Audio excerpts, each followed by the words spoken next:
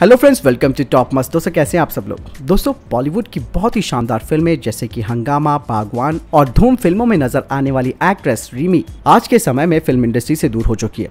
हालाँकि वो आखिरी बार TV reality show Bigg Boss में नज़र आई थी। उसके बाद उन्हें देखा नहीं गया।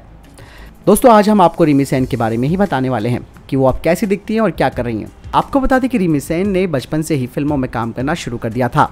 बता दें कि रिमी सेन का असली नाम शुभमित्रा सेन है और उनके इस नाम को बहुत कम लोग जानते हैं। और वैसे भी इंडस्ट्री में आने के लिए उन्होंने अपना नाम बदल लिया था।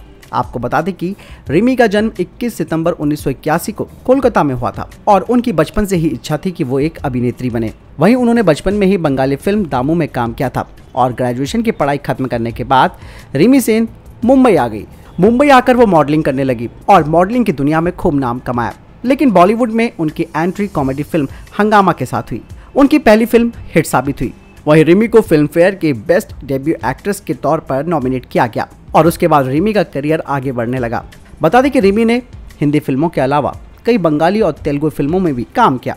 वहीं धूम, गरम मसाला के बाद उन्हें सलमान खान की फ़िल्म क्योंकि मिली और इस फ़िल्म में उन्होंने शानदार अभिनय किया।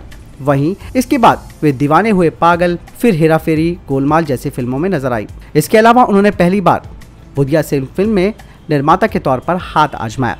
अब रिमी काफ़ी बदल चुकी है और फ़िल्मों से काफ़ी दूर रहती हैं। बता दें कि उनके पिता का नाम राजा सेन है और माता का नाम पपिया सेन। अगर बात करें उनके लव लाइफ पार्टनर की तो रोचेला राव। दोस्तों, आपको बता दें कि वे सोशल मीडिया पर एक्टिव रहती हैं और अपने हॉट और बोल्ड अंदाज को अपने फैंस के बीच शेयर करती हैं। जैसे कि आप देख सकते हैं। तो दोस्तों, आपको रेमी की कौन सी फ़िल्म सबसे ज़्यादा पसंद आई? कमेंट सेक्शन में लिखकर ज़रूर बताएँ। मिलता हूँ वीडियो के साथ। साथ ही इस अभिनेत्री के लिए एक लाइक तो बनता है। Stay tuned good bye